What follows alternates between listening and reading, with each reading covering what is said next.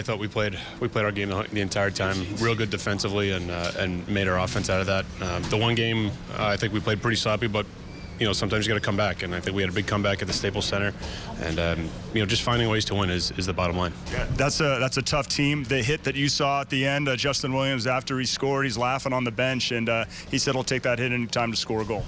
Yeah, I mean they're uh, they've had a tough. St. Louis had a tough tough couple of games uh, the last few, and you know they're a desperate group, and they're they're coming out and trying to send a message. And um, you know we expected that every time we play them. They're a physical team. They're a hard team to play against. So it's it, it's not uh, exactly a surprise to any of us. Yeah, that's this schedule is is odd, right? With the lockout, only playing teams in the Western Conference, uh, only 15 games left, and now you're seeing Minnesota for the first time in a couple of nights. Have you had a chance to even give any thought to that matchup, and what do you expect?